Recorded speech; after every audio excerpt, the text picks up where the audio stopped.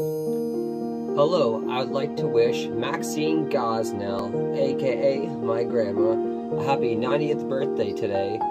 Sorry I couldn't be there due to the circumstances, but when things get better, I'll hopefully see you soon here and um, enjoy your cake and just a great day. And nine, 90 years, you've seen a lot of stuff, and there's going to be a lot more to see, but in positive ways.